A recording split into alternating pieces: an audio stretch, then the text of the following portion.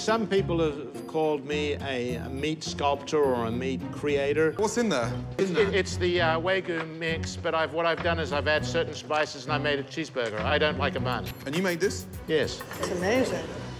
That is hideous.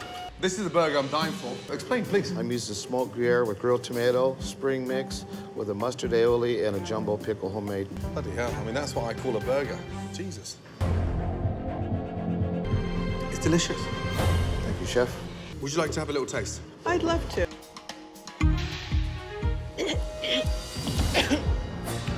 What is that get strong so taste that I'm tasting? Gruyere cheese, and it's smoked, right? Yeah, I love it. Does that go through the meat? I taste something stronger in there, like a dry aged or something beef.